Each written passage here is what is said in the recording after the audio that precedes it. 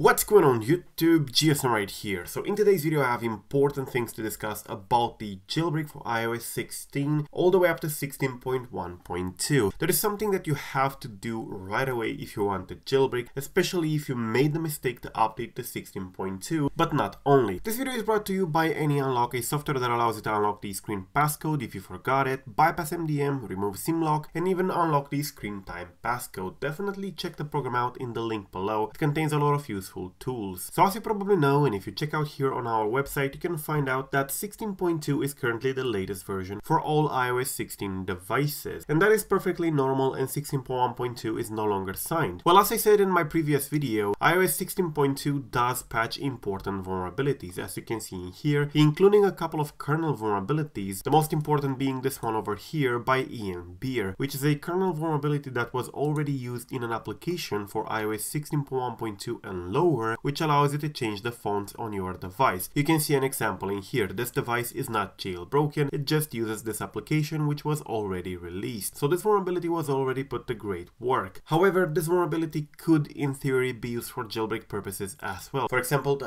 update xina520's jailbreak to support iOS 16. Now remember that this vulnerability supports all devices, including the iPhone XS, XS Max, XR, 12, 13, and so on. It supports all new devices. So what's the important thing you need to do? Well, if you're running iOS 16.2 or if you're running an older version like iOS 12, 13, 14 and even some 15 versions, if you don't want to stay anymore on those old versions and you want iOS 16, you can still update iOS 16.1.2. Yes, I know it says in here it's not signed, but you can still update to 16.1.2 and take advantage of this vulnerability over here, which could be used for jailbreak purposes. How can you do that? Well, with delayed OTA. Delayed OTA is basically a trick that we come up with in the community, which takes advantage of the enterprise certificates or enterprise profiles, because for enterprises, Apple allows you to actually install an unsigned iOS version like 16.1.2 for a longer period of time after it was unsigned, for 90 days or so. But there's a catch, your device has to be supervised for that. You can enable supervision on your device and you can download the proper profile. This website in here has all the profiles as you can see over here. And with that profile, until the profile expires, for example, for 16.1.2 is going to be in March, you will still be able to install 16.1.2 because your device believes it's actually an enterprise device, a supervised device, which means you can take advantage of that loophole. So while for the normal people it's all unsigned and only 16.2 remains, if you do the delayed OTA, you can actually get 16.1.2 even at this